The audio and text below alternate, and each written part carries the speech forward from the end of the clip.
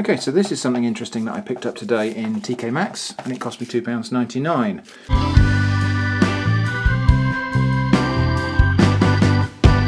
And it is pan de higo con almendras, which is literally translated means fig bread with almonds. Now, I don't think there's a slice of bread in here, but I think I do know what this is.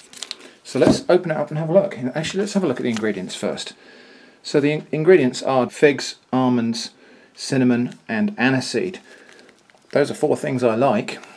So let's have a look and see what it actually is inside. So yes, what we've got inside is a block of compressed figs and almonds.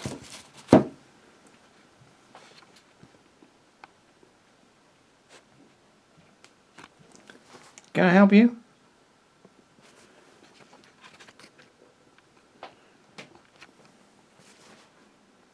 Can I help you at all?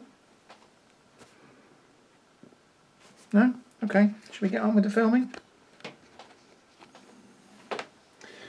So yes, it's a block of compressed figs and almonds. So let's get that on a plate and have open it up and have a little taste.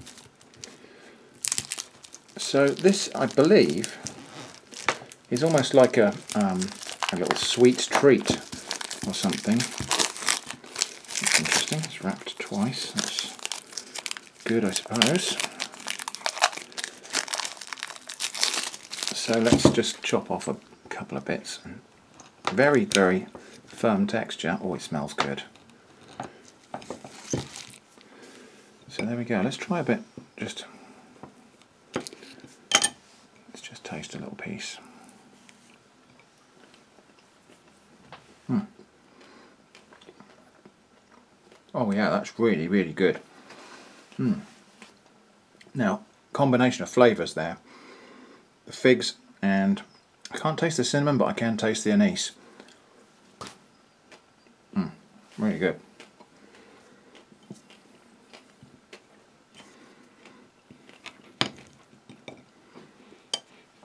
Now I suspect, or at least I believe, that this is something that's designed to go with a nice little cup of coffee.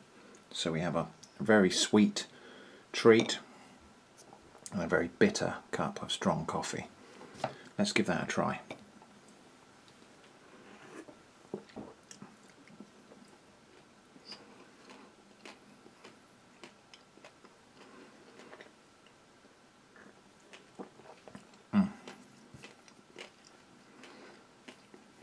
That's really good. So there we go. That's first, I've heard of this before, that's the first time I've tried it. Pan de higo. So it's been quite a while since we checked in on the magic bean, in fact, and all the other gardening projects that are on the go here. So this is the magic bean plant, unfortunately the little seed leaf at the bottom there, which was engraved with a heart, has now withered and fallen off entirely. But look how big the plant is now, it's actually needs to be hardened off and planted out in the garden I think. I think it's a French bean so I imagine we'll get some beans that we can eat from it. My little blood orange tree is not looking too happy but I think it might come back, just needs a bit of water. The palm seedlings are producing now their fourth leaf.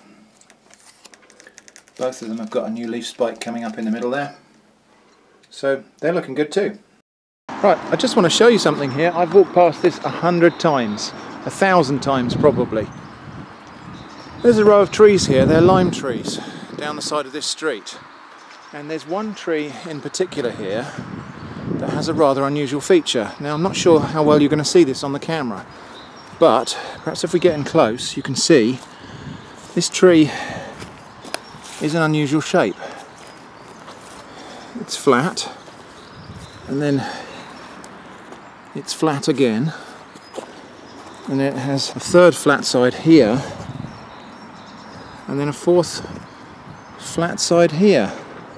And so yeah I don't know how well you can oh you can really see it there I think. So this is a tree with a trunk that is square in section. The odd thing is you can't see it from a distance. From here there's nothing unusual at all about that, that tree is there? And yet, when we get up close, you can see how square it is. Look at that.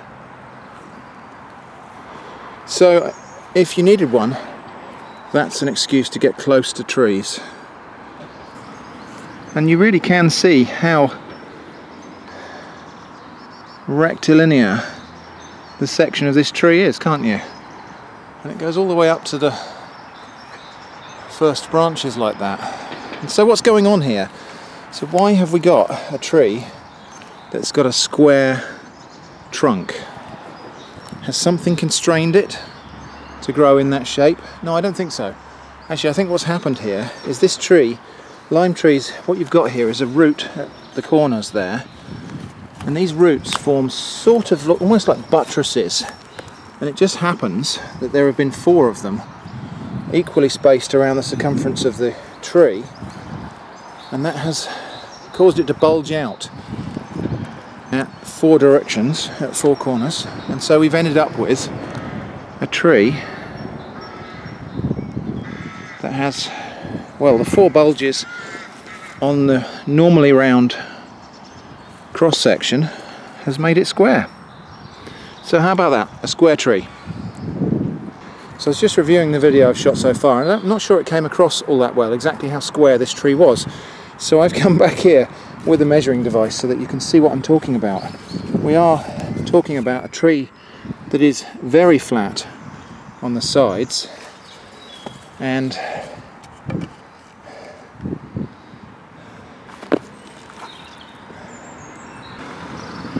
So I don't know if that illustrates it any better. We are talking about a tree with very flat sides. It's not perfectly square. So yeah, there's a little bit of divergence just over there.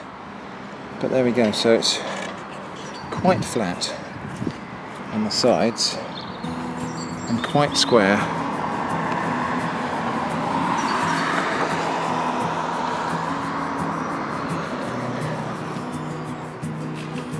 So that's the square tree.